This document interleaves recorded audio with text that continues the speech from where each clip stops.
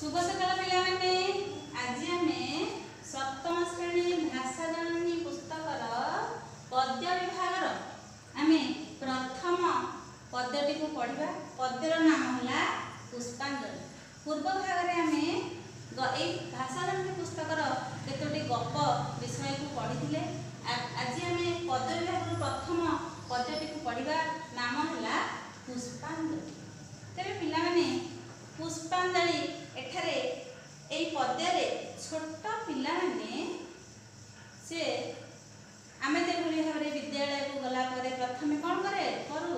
ନା ଆମେ ସମସ୍ତେ ଠାକୁରକୁ ଭଗବାନଙ୍କୁ ଡାକୁ ହେ ପ୍ରଭୁ ମୋତେ ଭଲ ବାଟରେ ନିଅ ଭଲ ବୁଦ୍ଧି ଦିଅ ଯେଉଁ ରାସ୍ତାରେ ନେଉଛ ମୋତେ ଭଲ ବାଟ ଦେଖେଇ ଦିଅ। ଏଇଭଳି ଭାବରେ ସେଇ ଛୋଟ ଶିଶୁମାନେ ତୁମେମାନେ ଚିତ୍ରରେ ଦେଖିପାରୁଥିବ ଜଗନ୍ନାଥଙ୍କୁ ଡାକୁଛନ୍ତି ଏଠି ଜଗନ୍ନାଥଙ୍କୁ ଜଗନ୍ନାଥ ବଳଭଦ୍ର ସୁଭଦ୍ରା ଏଇ ତିନି ଜଣ ଠାକୁରଙ୍କର ମୂର୍ତ୍ତି ଆମର ଦେଇଛି ଚିତ୍ରରେ ଦେଇଛି। ଯେ କେତେ ଜଣ ଛୋଟ ଶିଶୁମାନେ ଏଇ ଚିତ୍ରରେ ମଧ୍ୟ ଦେଖାଯାଉଛନ୍ତି। ଏଇ କବିତା ମାଧ୍ୟମରେ ବା ପଦ୍ୟ ମାଧ୍ୟମରେ ଛୋଟ ଶିଶୁମାନେ କିଭଳି ଭାବରେ ତାଙ୍କର ମନ କଥାକୁ ଜଗନ୍ନାଥଙ୍କୁ ଜଣାଇଛନ୍ତି ଏହି କବିତାଟାରେ ଆମେ ପଢ଼ିବା। ତେବେ ପିଲାମାନେ ପ୍ରଥମେ ଦେଇଛି ଯେ ଚିର ବନ୍ଦନୀୟ ସତ୍ୟ ସୁନ୍ଦର ନମୋ ଜଗନ୍ନାଥ ପ୍ରେମ ମନ୍ଦିରା। ମମ ତ୍ୱମସି ହେଚିରଂ ତବହଂ ତବାହଂ କରୋମି ସପ୍ତଂ କର୍ମ ନିବାହଂ। ଚିର ବନ୍ଦନୀୟ ଚିର ବନ୍ଦନୀୟ ପିଲାମାନେ ଚିର ବନ୍ଦନୀୟ ଏହାର ଅର୍ଥ ହେଲା କ'ଣ?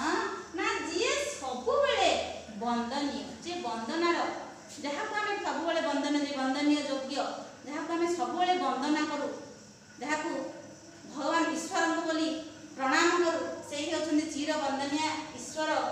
ଏଠି କିଏ ସେ ତାଙ୍କୁ କାହାକୁ କୁହାଯାଇଛି? ନା ଜଗନ୍ନାଥଙ୍କୁ କୁହାଯାଇଛି। ଛୋଟ ପିଲାମାନେ କହୁଛନ୍ତି ଚିର ବନ୍ଦନୀୟ ତୁମେ ହେଉଛ ଚିର ବନ୍ଦନୀୟ ଆଉ ସତ୍ୟ ସୁନ୍ଦର ତୁମେ ହେଉଛ ସତ୍ୟ ତୁମେ ହେଉଛ ସୁନ୍ଦର ନମୋ ଜଗନ୍ନାଥ ପ୍ରେମ ମନ୍ଦିର ନମୋ ଜଗନ୍ନାଥ ହେ ଜଗନ୍ନାଥ ତୁମେ ହେଉଛ ଚିର ବନ୍ଦନୀୟ ତୁମେ ହେଉଛ ସତ୍ୟ ତୁମେ ହେଉଛ ସୁନ୍ଦର ତୁମକୁ ମୁଁ ନମୋ ଜଗନ୍ନାଥ ତୁମକୁ ମୁଁ ପ୍ରଣାମ କରୁଛି ପ୍ରେମ ମନ୍ଦିର ନମୋ ଜଗନ୍ନାଥ ପ୍ରେମ ମନ୍ଦିର ଏହାର ଅର୍ଥ ହେଲା ତୁମମାନଙ୍କୁ ହେ ଜଗନ୍ନାଥ ମୁଁ ପ୍ର- ଆମେମାନେ ପ୍ରଣାମ କରୁଛୁ ତାପରେ ଦେଇଛି ମମ ତ୍ୱମ ଅସି ଏଠି ତ୍ୱମ ତ୍ୱମସି ଦେଇଛି ଏଇ ଶବ୍ଦଟି ଗୋଟିଏ ସନ୍ଧି ଶବ୍ଦ। ତ୍ୱମ ଅସି ତ୍ୱମ ଅସି ଏଇଠି ଗୋଟିଏ ଶବ୍ଦ ଆସିଲା। ତ୍ୱମସି ଏଇଟା ଗୋଟେ ସନ୍ଧି ଶବ୍ଦ। ସନ୍ଧି ଅର୍ଥ ତ ପିଲାମାନେ କ'ଣ? ନା ଯଦି ଦୁଇଟି ବା ଦୁଇରୁ ଏକରୁ ଅଧିକ ଶବ୍ଦ ମିଶି କରିଥାଏ ତାକୁ ଆମେ ସନ୍ଧି ଶବ୍ଦ ବୋଲି କହିବା। ଏଇ ଶବ୍ଦଟି ଏଇଥିରେ ଏଇ ଶବ୍ଦରେ ତ୍ୱମ ଅସି ଗୋଟିଏ ଶବ୍ଦରେ ଦୁଇଟି ଶବ୍ଦ ମିଶିକି ଅଛି। କ'ଣ ଅଛି? ନା ଗୋଟେ ହେଲା ତ୍ୱମ ଗୋଟେ ହେଲା ଅସି। ତ୍ୱମର ଅର୍ଥ ତୁମେ ମା ତ୍ୱମ ଅର୍ଥ ତୁମେ ଅସିର ଅର୍ଥ ଅଟେ ବା ଅଟ ତାହେଲେ ତ୍ୱମ ଅସି ମମ ତ୍ୱମ ଅସି ହେଚିରଂ ତବାହମ୍ ଏଠି ଆଉ ଗୋଟେ ତବା ଶବ୍ଦ ହେଲା ସନ୍ଧି ଶବ୍ଦ ହେଲା କ'ଣ? ତବାହମ୍ ଆର ଏଇଥିରେ ମଧ୍ୟ ଦୁଇଟି ଶବ୍ଦ ମିଶିକରି ଅଛି। ଗୋଟେ ହେଲା ତବ ଗୋଟେ ହେଲା ଅହମ୍ ଯାହାର ତବର ଅର୍ଥ ହେଉଛି କ'ଣ ତୁମର ଅହମ ଅର୍ଥ ହେଉଛି ମୁଁ ତେବେ ତବାହମ ମିଶିକରି ହେଇଛି ତବାହମ ଯେଭଳି ଭାବରେ ତ୍ୱମସିଟା ତ୍ୱମସି ତ୍ୱମସି ହେଇଛି ସେଇଭଳି ଭାବରେ ତବାହମ ଦୁଇଟା ଶବ୍ଦ ମିଶିକି ହେଇଛି ତବ ଯୁକ୍ତ ଅହମ ତେବେ ମମ ତ୍ୱମ ଅସି ହେଚିରಂ ତବାହମ ଏହାର ଅର୍ଥ ହେଲା ମମ ମମ ଅର୍ଥ ମୋର ତ୍ୱମ ଅସି ମୁଁ ହେଉଛି ତୁମେ ହେଉଛ ତ୍ୱମ ଅସି ତୁମେ ଅଟ ଏହାର ଅର୍ଥ ହେଲା ତୁମେ ଅଟ ମୋର ମମ ତ୍ୱମ ଅସି ଏହାର ଅର୍ଥ ହେଲା ମୋର ତୁମେ ଅଟ ହେ ଚିର ଚିର ତୁମେ ସବୁବେଳେ ମୋର ଏବଂ ତବ ଅହଂ ମୁଁ ମଧ୍ୟ ତୁମର ତବ ଅହଂ ମୁଁ ମଧ୍ୟ ତୁମର କରମି କରମି ସତତଂ। ସତତଂ କରମି। କରମି ଅର୍ଥ କ'ଣ? ନା କରୁଅଛି ସତତଂ ସବୁବେଳେ କର୍ମ ନିର୍ବାହଂ ମୁଁ ଅର୍ଥାତ ମୋର କାମ କରି ଚାଲୁଅଛି। ତାହେଲେ କ'ଣ ଭାବି କରି କ- ଚାଲୁଅଛି? ନା ମୁଁ ହେଉଛି ତୁମର ତୁମେ ମୋର। ଏଇ ଭାବନାକୁ ମନରେ ରଖି ମୁଁ ମୋର କାମ କରି ଚାଲିଛି। ସବୁବେଳେ ମୋର କାମ କରି ଚାଲିଛି ତାପରେ ଦେଇଛି ପରଦ୍ରବ୍ୟ ଲୋଭ ଛଳନା ଭାବନା ହର ମନସମେ ମନ୍ଦ କାମନା ସେବା ସମର୍ପଣ ସତ୍ୟ ପ୍ରକୃତି ହୃଦୟ ସୁଗରବ ସୁଗରବ ପ୍ରେମ ସମ୍ପତ୍ତି ତାହେଲେ ପିଲାମାନେ ଏହି ଦେଇଛି ଆଉ ଗୋଟିଏ ସନ୍ଧି ଶବ୍ଦ ଦେଇଛି ପରଦ୍ରବ୍ୟ ଲୋଭ ଛଳନା ଭାବନା ଏହା ଗୋଟିଏ ସନ୍ଧି ଶବ୍ଦ ଦେଇଛି କ'ଣ ନା ପରଦ୍ରବ୍ୟ ପରଦ୍ରବ୍ୟ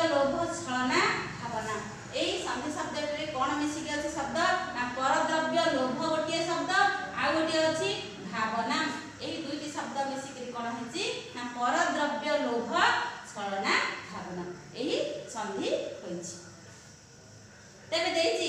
ପରଦ୍ରବ୍ୟ ଲୋଭ ଛଳନା ଛଳ ଭାବନା ହର ମନସମେ ମନ୍ଦ କାମନା। ପୁଣି ଏଇ ତାହେଲେ ଏଇ ପଦ୍ୟ ଭାବରେ ପଦ୍ୟରେ ଶିଶୁମାନେ ପୁଣି ଜଗନ୍ନାଥଙ୍କୁ ଜଣାଇଛନ୍ତି ହେ ପ୍ରଭୁ ଜଗନ୍ନାଥ ଯେ ତୁମ ହେଉଛ ମୋର ମୁଁ ହେଉଛି ତୁମର। ଆଉ ମୋର ଯୋଉ ଏଇ ପରଦ୍ରବ୍ୟ ଲୋଭ ଛଳନା ଭାବନା ହର ମନସମେ ମନ୍ଦ କାମନା ତୁମେ କ'ଣ କର ନା ମୋ ମନସୁ ହର ମନସମେ ମନ୍ଦ କାମନା ମୋର ଯୋଉ ପରଦ୍ରବ୍ୟ ଅନ୍ୟ ପରଦ୍ରବ୍ୟ କ'ଣ ନା ଅନ୍ୟମାନଙ୍କର ଯୋଉ ଦ୍ରବ୍ୟ ବା ଜିନିଷ ପ୍ରତି ମୋର ଯୋଉ ଲୋଭ ଅଛି ସେଇ ଲୋଭକୁ ମୋ ମନରୁ କ'ଣ କର ନା ହରଣ କରିଦିଅ ମନରୁ ସେଇଟା ମୁଁ କେମିତି ଭାବରେ ପରଦ୍ରବ୍ୟ ପ୍ରତି କିଭଳି ଭାବରେ ଆସକ୍ତି ରଖିବି ନାହିଁ ଲୋଭ କରିବି ନାହିଁ ସେଇ ଭାବନାକୁ ମୋ ମନରୁ ଦୂର କରିଦିଅ ଆଉ କ'ଣ କର ନା ମନ୍ଦ ମୋର ଯୋଉ ମନରେ ଯୋଉ ମନ୍ଦ ଭାବନା ବା ଖରାପ ଭାବନା ରହିଛି ତାହାକୁ ମଧ୍ୟ ମୋ ମନରୁ ବାହାର କରିଦିଅ ଦୂର କରିଦିଅ ତାପରେ ଦେଇଛି ଆଉ କ'ଣ କର ନା ଏଇ ଭାବ ମ- ପର ଭାବନା ପରଦ୍ରବ୍ୟର ଲୋଭ ଯୋଉ ଆସକ୍ତିକୁ ମୋ ମନରୁ ଦୂର କରିଦିଅ ମନ୍ଦ ଭାବନାକୁ ଦୂର କରିଦିଅ ଆଉ ମୋ ମନରେ କ'ଣ କରିଦିଅ ନା ସେବା ସମର୍ପଣ ସତ୍ୟ ପ୍ରକୃତି ଆଉ ମୋ ମନରେ କ'ଣ କରିଦିଅ ନା ସେବା ଅନ୍ୟକୁ ଭା ଅନ୍ୟର ମୁଁ କେମିତି ଅନ୍ୟମାନଙ୍କର ସମସ୍ତଙ୍କର ସେବା କରିପାରିବି ମୋର ନିଜକୁ କେମିତି ଅନ୍ୟମାନଙ୍କ ବିପଦରେ ସାହାଯ୍ୟ କରିପାରିବି ସମର୍ପଣ କରିଦେବି ମୋର ଜୀବନକୁ କିଭଳି ଭାବରେ ଅନ୍ୟମାନଙ୍କର ଅସୁବିଧାରେ ସମର୍ପଣ କରିଦେବି ସେମାନଙ୍କ ପାଇଁ ମୋ ଜୀବନ ଦାନ କରିବି ଆଉ ମୋ ମନରେ ସବୁବେଳେ ସତ୍ୟ ପ୍ରକୃତି ମୋ ମନରେ ସବୁବେଳେ କ'ଣ ସତ୍ୟ ଭାବନାକୁ ମୋତେ ଭରି ଦିଅ ମୁଁ କେବେ ମିଥ୍ୟାର କେବେ ଆଶ୍ରୟ ନେବି ନାହିଁ ସବୁବେଳେ ସତ କଥା କହିବି ଏଇ ମନକୁ ହୃଦୟ ସୁଗୌରବ ପ୍ରେମ ସମ୍ପତ୍ତି ଆଉ ନା ମୋର ଏଇ ହୃଦୟ ସ- ସୁଗୌରବ ପ୍ରେମ ସମ୍ପତ୍ତି ମୋର ହୃଦୟରେ ସବୁବେଳେ ଏହି ଗୌରବକୁ ମୋର ଭରି ଦିଅ ମୋର ମନରେ ଆହୁରି ଭଲ ପାଇବା ଭରି ଦିଅ ତାପରେ ପୁଣି ଦେଇଛି ଧୈର୍ଯ୍ୟ ସତ୍ସାହସ ଭାବଗ୍ରାହିତା ଶୁଦ୍ଧତା କ୍ଷମା ଦୟା ନମ୍ରତା ଦେହି ଦୀନବନ୍ଧୁ ମହ୍ୟମ ଅବଶ୍ୟମ କୁରୁ ହେ ବିଭୁ ସାଧୁ ମନୁଷ୍ୟ ତାପରେ ପୁଣି ଦେଇଛି ଆଉ ଥରେ ପୁଣି କ'ଣ ସେ ପିଲାମାନେ ପୁଣି ଜଗନ୍ନାଥଙ୍କୁ ତାଙ୍କୁ ନିବେଦନ କରି ତାଙ୍କୁ ପ୍ରାର୍ଥନା କରୁଛନ୍ତି ହେ ପ୍ରଭୁ ଜଗନ୍ନାଥ ଆହୁରି ଫେରେ ମୋ ମନରେ ଯେଭଳି ଭାବରେ ମୋ ମନରୁ ମନ୍ଦ କାମନା ମନ ମନ୍ଦ ଭାବ ବରଦ୍ରବ୍ୟ ଲୋଭକୁ ଆସକ୍ତିକୁ ଦୂର କରିଦିଅ ଆଉ କ'ଣ ଭରିଦିଅ ନା ସେବାକୁ ସମର୍ପଣ ଭରିଦିଅ ସତ୍ୟ ବାଟରେ କେମିତି ଚାଲିବି ସେ କଥା ମୋତେ ବତେଇ ଦିଅ ପୁଣି ଆଉଥରେ ଭରିଦିଅ କ'ଣ ନା ଧୈର୍ଯ୍ୟ ଧୈର୍ଯ୍ୟ ସତ୍ସାହସ ଭାବଗ୍ରାହିତା ଶୁଦ୍ଧତା କ୍ଷମା ଦୟା ନମ୍ରତା ତାହେଲେ ଧୈର୍ଯ୍ୟ ସତ୍ସାହସ ଆଉ କ୍ଷମା ଦୟା ନମ୍ର ଭାବକୁ ମୋ ମନରେ ତୁମେ ଭରିଦିଅ ଦେହି ଦୀନବନ୍ଧୁ ମହ୍ୟମ ଅବ୍ୟ- ଅବଶ୍ୟମ କୁରୁ ହେ ବିଭୁ ସାଧୁ ମନୁଷ୍ୟ ଦେହି ଦେହି ବୋଲେ କ'ଣ ଦେହିର ଅର୍ଥ ପିଲାମାନେ ଦେହିର ଅର୍ଥ ହେଉଛି ଦିଅ ହେ ପ୍ରଭୁ ଜଗନ୍ନାଥ ମୋତେ ଦିଅ ଏଇ ଏଇ ଏହା ଦିଅ ଯେ ଦୀନବନ୍ଧୁ ତମ ଦେହି ଦୀନବନ୍ଧୁ ମହମ ଅବଶ୍ୟମ କୁରୁ ହେ ବିଭୁ ସାଧୁ ମନୁଷ୍ୟ ମୋତେ ମୋତେ ଏହି ଆଶୀର୍ବାଦ କର ହେ ଦୀନବନ୍ଧୁ ମହ୍ୟମ ମହ୍ୟମ ଅର୍ଥ ହେଉଛି କ'ଣ ନା ମୋତେ ହେ ପ୍ରଭୁ ଜଗନ୍ନାଥ ମୋତେ ତୁମେ ଏହି ଆଶୀର୍ବାଦ କର ମୋତେ ଗୋଟେ ସାଧୁ ମନୁଷ୍ୟ ଗୋଟିଏ ସାଧୁ ପ୍ରକୃତିରେ ଅସାଧୁ ଅସାଧୁ କାହାକୁ କହିବା ନା ତୁ ଯେ ଖରାପ ପ୍ରକୃତିର ଲୋକ ଦୁଷ୍ଟ ଲୋକକୁ ଆମେ ଅସାଧୁ ପ୍ରକୃତି ବୋଲି କହିବା। ଗୋଟେ ଭଲ ମଣିଷ ଭାବରେ ସାଧୁ ମନୁଷ୍ୟ ଅର୍ଥ ତ କ'ଣ ନା ଗୋଟେ ଭଲ ମଣିଷ କରିକି ତିଆରି କର କେବେ ହେଲେ ମୋତେ ଖରାପ ବାଟରେ ନିଅ ନାହିଁ ଏହି କଥା ସେ ଜଗନ୍ନାଥଙ୍କୁ ଜଣାଇଛନ୍ତି ଏ ଛୋଟ ପିଲାମାନେ ଏହି ପଦ୍ୟ ମାଧ୍ୟମରେ ଏ ପିଲାମାନେ ମୁଁ ତୁମର ତ ଏଇ ପଦ୍ୟର ଅର୍ଥଟିକୁ ତୁମକୁ କହିଲି ଆଉ ତାର କେତେ ଗୁଡ଼ିଏ ଏଥିରୁ ସନ୍ଧି ଶବ୍ଦ କେ- ବିଷୟରେ ମଧ୍ୟ କହିଲି ତୁମକୁ ତାହେଲେ ତୁମ ପାଇଁ ଏଥିରୁ ତୁମ ପାଇଁ କେତୋଟି ପ୍ରଶ୍ନ ରଖିଛି ସେଇ ତୁମ ପ୍ରଶ୍ନ ଗୁଡ଼ିକ ତମେ ଖାତାରେ ଲେଖି ଆଣିବ। ତେବେ ତୁମକୁ ଆଜିର ଏସ୍ ଡବ୍ଲ୍ୟୁ ତୁମକୁ ଦେଉଛି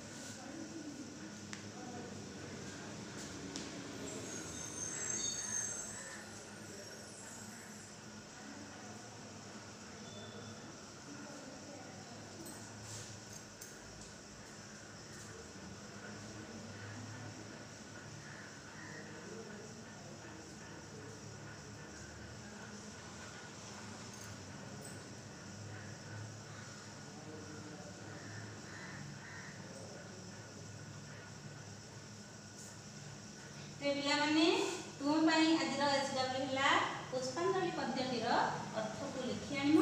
ଦ୍ୱିତୀୟ ହେଲା ଦ୍ୱିତୀୟରେ ଦେଇଛି ଯେ ସନ୍ଧି କେତେଗୁଡ଼େ ଶବ୍ଦ ଦେଇଛି ସେଇ ଶବ୍ଦ ଗୁଡ଼ିକୁ ଏଇ ସନ୍ଧି ଶବ୍ଦ ଦେଇଛି ତାକୁ ଆମେ ସନ୍ଧି ବିଚ୍ଛେଦ କରିକି ଆଣିବା।